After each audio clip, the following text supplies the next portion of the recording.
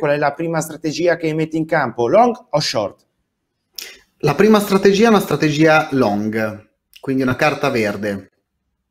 Una carta verde che ha come sottostante cosa?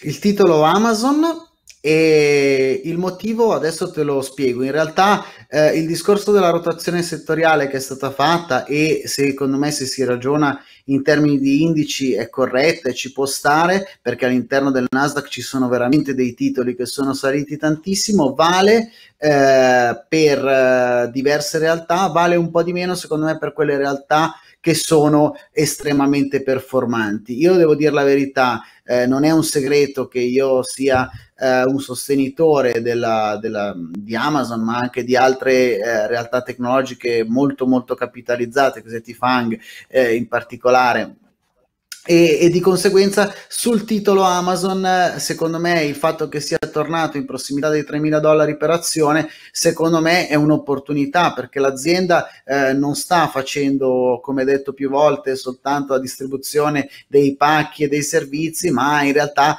eh, si sta sviluppando con quella che è Amazon Prime, con quello che sono i discorsi di, di AWS, che è Amazon Web Services, tutti quelli che sono i servizi in abbonamento. Cioè Amazon oggi è un'azienda globale eh, che eh, il ritracciamento che ha subito nelle ultime settimane, negli ultimi mesi, secondo me eh, rappresenta un'ottima opportunità. Quindi sotto i 3.000 dollari eh, io non penso sia sbagliato mettere in portafoglio il titolo. Dico, faccio un cappello che vale per tutte le strategie che ho, eh, che ho proposto oggi, che è importante. Sono operazioni di trading, quindi con stop e target abbastanza vicini proprio per movimentare un pochettino quella che è la sfida. Ovviamente su Amazon discorso, eh, secondo me, visto che tra l'altro BNP offre dei prodotti open end, quindi dei prodotti senza scadenza, può avere senso mantenerlo ben oltre quello che è il target che io ho proposto.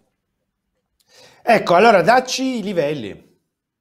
Allora, il livello di ingresso è 2995, il nostro stop loss lo posizioniamo a 2905 euro e il target a 3095. Come detto, appunto, eh, secondo me Amazon eh, potrebbe crescere ben di più rispetto a tali livelli, ma eh, come ti dicevo, insomma, abbiamo necessità che questi eh, trade, anche in virtù del fatto che c'è la leva, vadano o a target o eh, in stop.